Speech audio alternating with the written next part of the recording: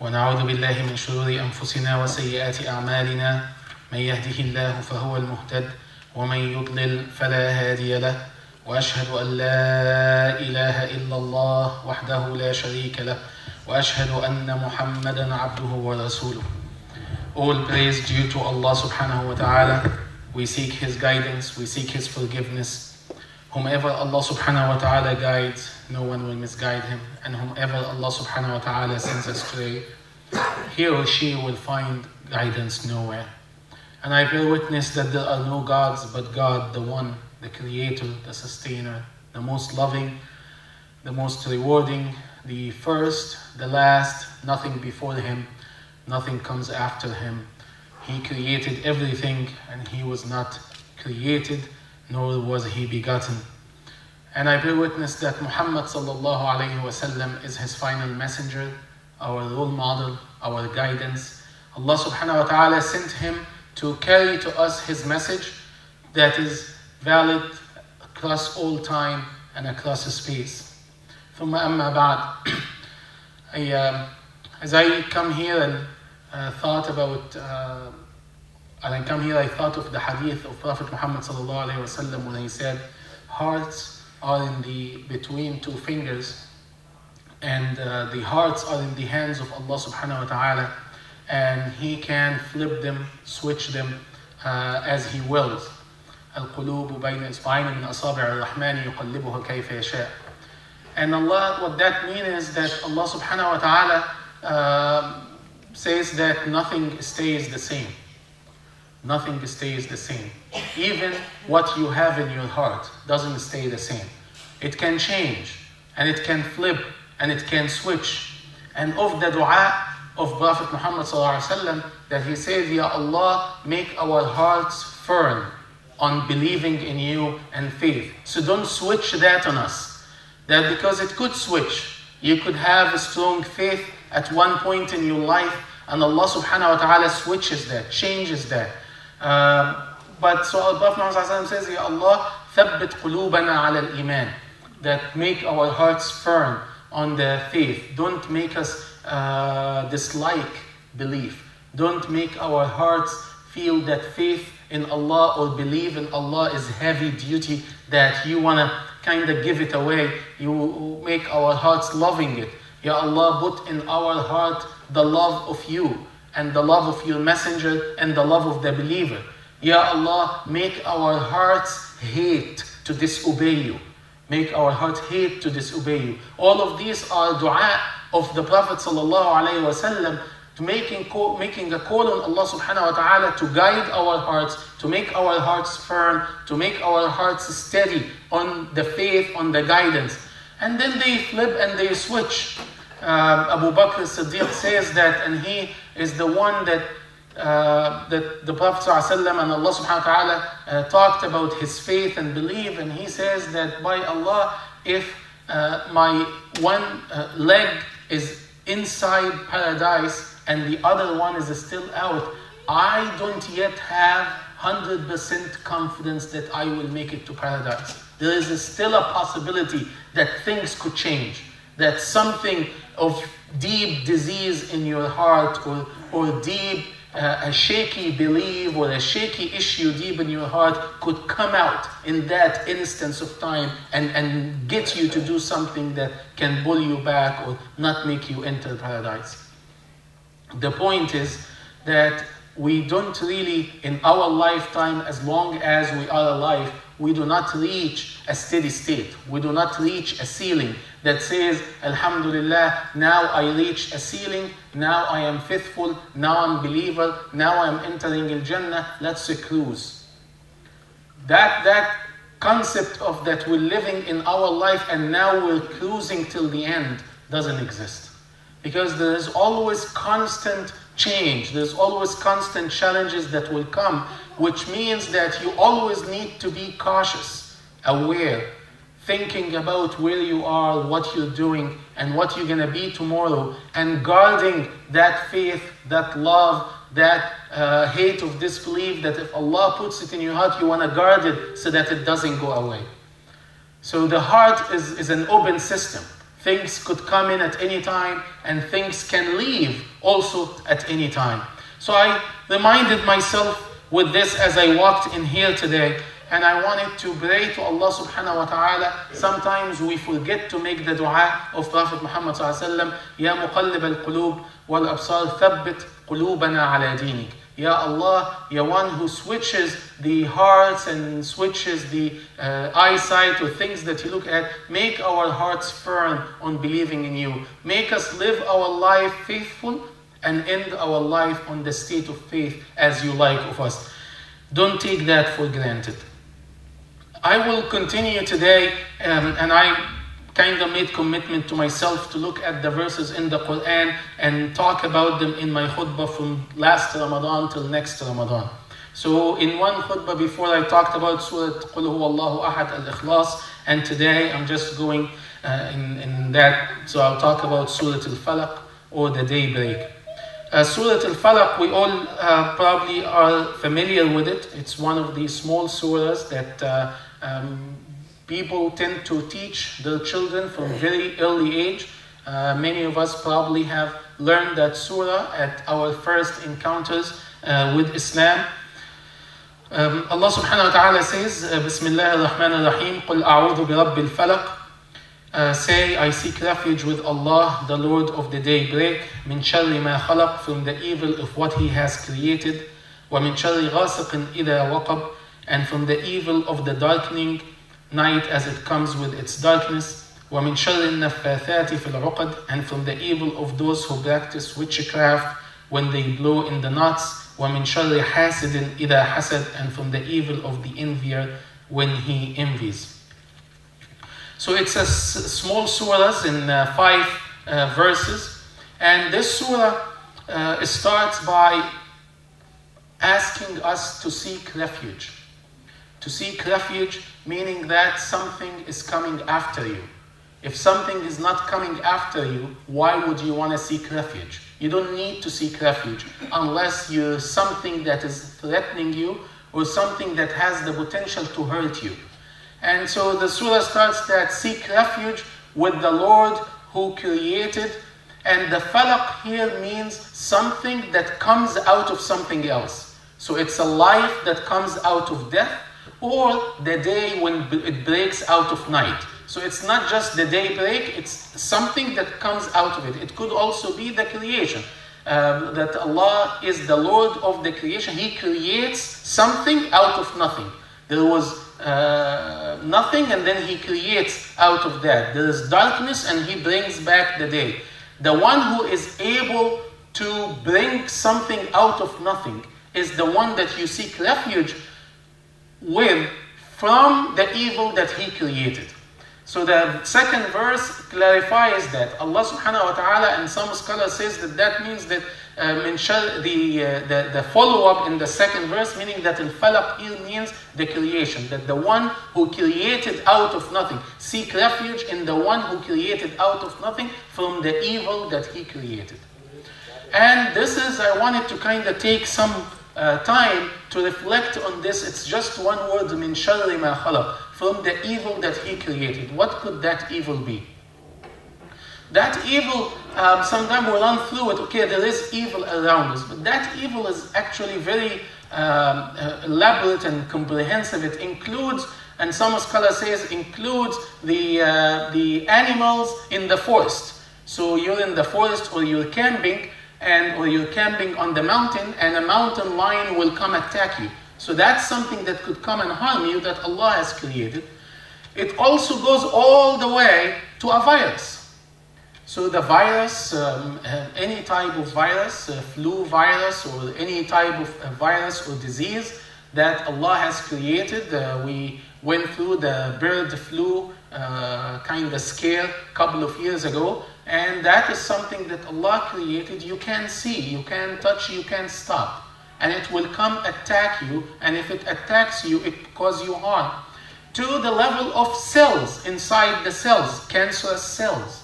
How can you, you can't even know that, you can't even see it coming, sneaking on you. You discover it after it harms you. And, and, it, and, you, and, and you say that you are lucky if you discover the harm early. Then then they, maybe they can try to stop a little bit or do something of that. But that cells, it's inside your body, and absence of your awareness, it sneaks through your body, eat up your cells and develop itself, and, and you are completely unaware of what's happening here and there.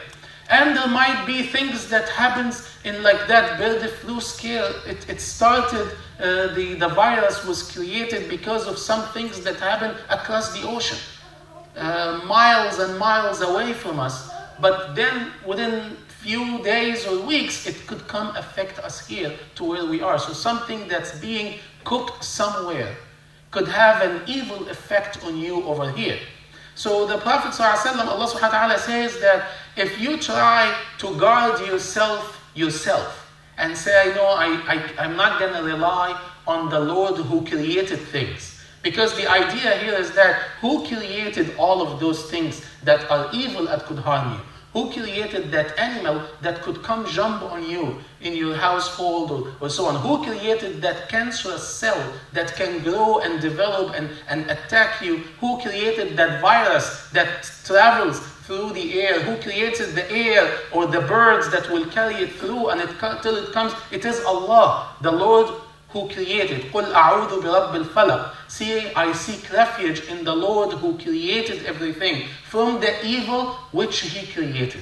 From the evil that is there. So you say, so does Allah create evil? Why would Allah create evil and not just create uh, everything that is good and everything that is happy and we don't have to seek refuge, we don't have to worry and nothing would harm us around?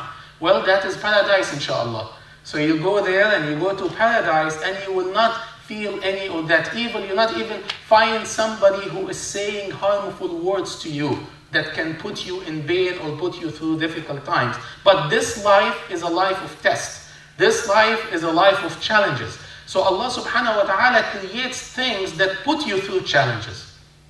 And put you through challenges to show how firm your faith and believe in Him. How much you will rely on Him.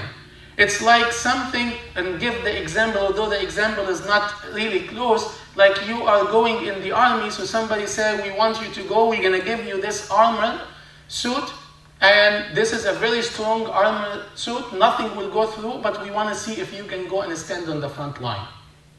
So it tests your faith that you're going to go through that armored suit or vehicle and says that, okay, I have my faith in that company and I'm to go stand on the front line. Even if somebody shoots at me, I know that it's not to harm me because I have that with me. And even if I am harmed, I am okay with it. So Allah subhanahu wa ta'ala, and He has the highest example, and Allah subhanahu wa ta'ala is saying that there are challenges that will test your resolve at different levels. Sometimes it's a small level, sometimes it's just you uh, uh, had to walk back from home at night and uh, you had to drive through uh, a dark neighborhood that you don't know uh, anybody at, or you had to walk through an alley and you have that fear inside of you, or there's an incident that happened in your neighborhood and somebody got shot, so you're walking back home and you have that fear that somebody will come and shot you, or somebody comes in burglary in your house or something. You have that fear inside you that, that shakes you a little bit and tests your resolve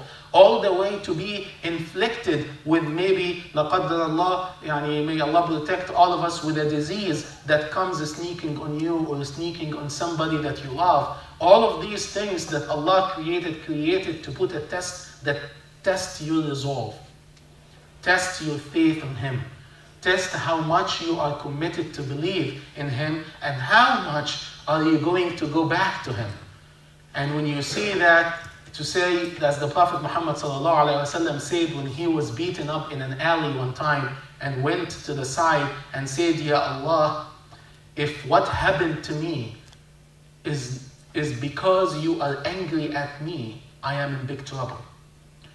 But if this because to test my faith in you, I am very committed to you.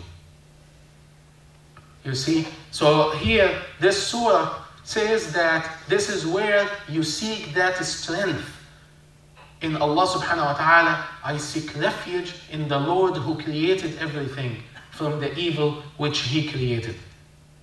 وَمِن شَرِّ غَاسِقٍ إِذَا وَقَبْ There is, the surah then uh, go from a general to specific. So it spec- specifies out of the general evil that God has created three areas. It's very interesting, those three areas. The first one, the darkness and what comes through the darkness. The darkness and what comes through the darkness. And the second one is the deception of those who deceives. And the third one, the envy of those who envy. Those three are very difficult for you to even see it coming. Like sometimes you say, Well, I'm gonna work out and I have, alhamdulillah, good muscles and I'm gonna have my gun with me. And if I see evil coming, I'm gonna protect myself. Those three, you can't even see it coming. The darkness here, it could mean the physical darkness, it could also mean the unknown. The evil that the unknown hides for you. What do you know about the evil that could happen tomorrow? What could know, you know about an evil of a company of a, or a partner or a business that you're gonna involve in? That's unknown to you. It's dark area for you. So you seek refuge in Allah subhanahu wa ta'ala from that evil, from that darkness that you don't know, that sneaks on you. Come to you from where you can see. This is, this is very important that, that there's evil that is waiting for you. You can't see it, you can't protect yourself against, but it is there waiting for you. That's the darkness. And what the darkness could hold for you, what the unknown could hold for you that could harm you. And the other one is the deception of those who deceives. And the words here, the nafathati fil uqad, and the, some scholar says that that's the witchcraft, that's the people who do uh, magic or sorcery and so on. But the point of that magic, because magic is within, is, is not something that changes the creation of Allah. Nobody can change the creation of Allah. Nobody can change the rule of Allah. But what magic does, as the Quran tells us about the uh, magicians of uh, Musa, of the Pharaoh during the time of Musa, is that they deceive. They create an illusion of something, so you are confused. You don't know what is real and what is illusion. And that is deception. That somebody frames to you a subject, or frames to you a situation, or frames to you a context so well that you can't really tell if this is imaginary or if this is real. It's like 3D immersion. Like you know, if you play 3D NFL games on those new Sony PlayStations, you can't really tell if those players, if that's a real game or if this is an illusion. It is an illusion, it's not a real game, but you look at them and say, wow, is that a game going on? Or if that's, no, and then you tell hey, that, this is just a PlayStation going on. And you can't really tell. It's a deception, it's an illusion. And somebody can come to you and deceives you. Well, what is deception? Deception is somebody making you believe that something is real where in fact it is not. And you can't tell. You have no way of telling the difference between reality and the illusion because of how good whoever framed that for you, how good they were. And Allah subhanahu wa ta'ala says, seek refuge in that. وَمِن شَرِّ فِي الْعُقَدِ Those who sits down, draw these programs, creates these games, creates those TVs for the purpose of putting you in an illusion so that you can see something that is not yours. Not just TVs. Like TV is a tool that can be used for that, but also words. Somebody can talk to you into something that's not this, and somebody can do something outside behind your back that creates that illusionary situation. أقول قولي هذا وأستغفر الله لي ولكم ask Allah subhanahu wa ta'ala for forgiveness.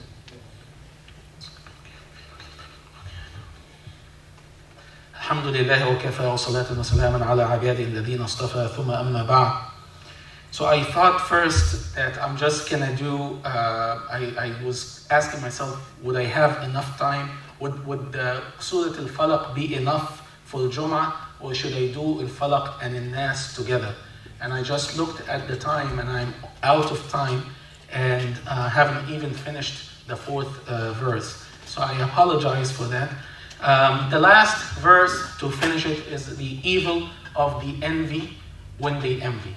So the envy is a feeling that you have in your heart when you see somebody blessed with something. So somebody blessed with a strong, handsome, beautiful physical appearance, somebody blessed with intelligence, somebody blessed with successful business, somebody blessed with a nice home, somebody blessed with uh, intelligence, whatever that is, you have when you see, when you recognize the blessing you have, you have that feeling inside you. Now, it becomes envy when that feeling evolves into a wish that Allah takes it away from them. That becomes envy.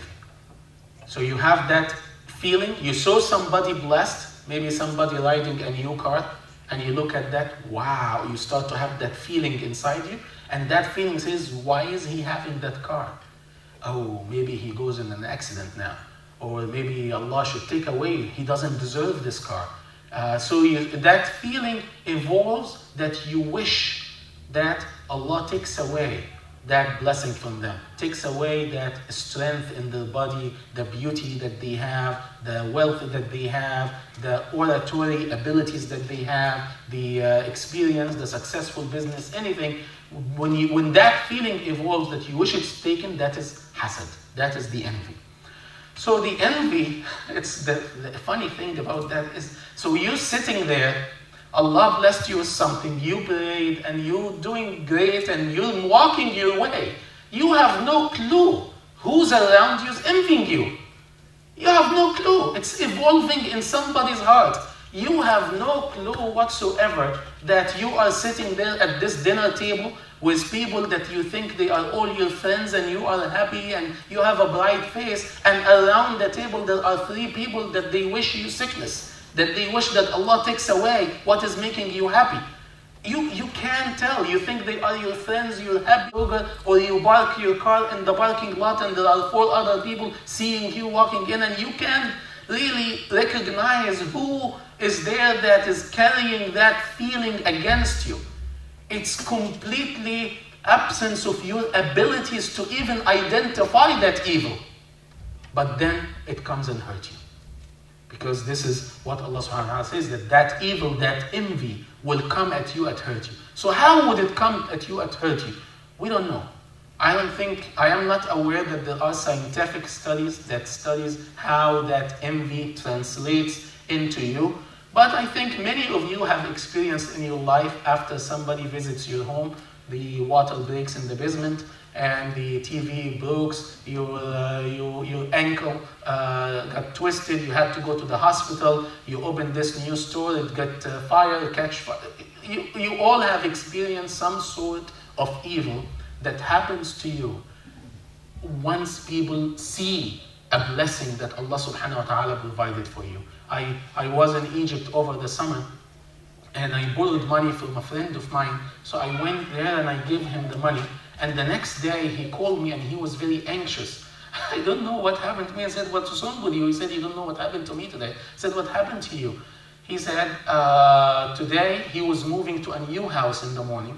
So he moved to a new house in the morning, very beautiful house in the morning, then went to the bank, took some money from the bank, rode his car back to the house, and in a while he went to say something to his family, five minutes came out, window broken, all the money is gone.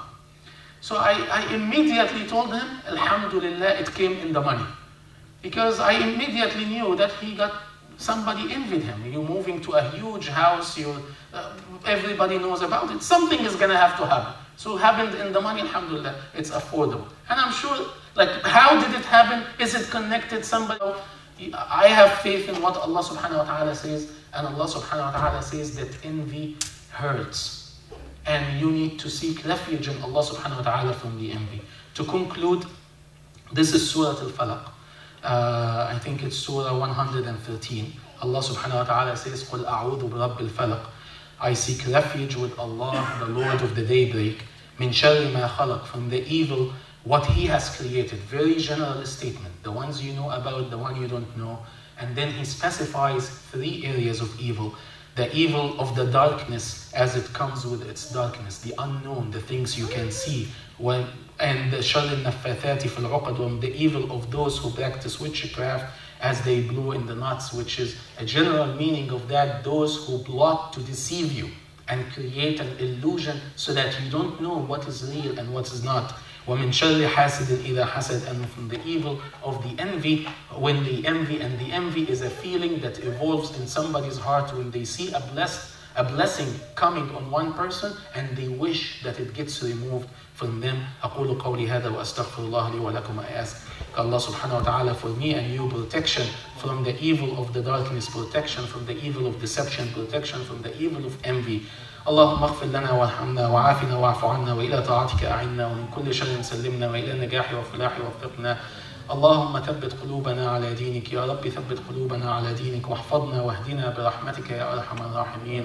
اللهم انصر الإسلام وأعز المسلمين. اللهم انصر كل مستضعف وكل مظلوم يا رب العالمين. اللهم خذ على يد كل ظالم برحمتك يا أرحم الراحمين. بعظمتك يا رب العالمين. إن الله وملائكته يصلون على النبي يا أيها الذين آمنوا صلوا عليه وسلموا تسليما وأقيموا الصلاة.